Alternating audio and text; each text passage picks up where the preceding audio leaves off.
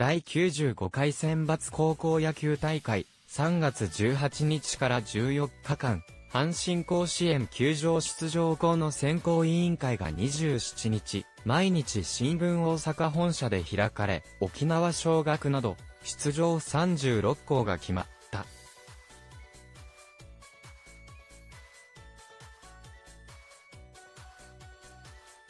沖賞は沖縄第一代表で出場した昨年10月の秋季九州大会で9年ぶり3度目の優勝を飾った。打線が爆発し、全4試合2桁安打となる計48安打を放った。初戦のトス、佐賀を8から2で下すと、準々決勝では、名豊、大分を3から2で、準決勝では、海星、長崎を7から6で2試合連続となるサヨナラで勝利。決勝では、長崎日大に3点を先行されたものの8から5と逆転して優勝をつかみ、勝負強さを見せつけた。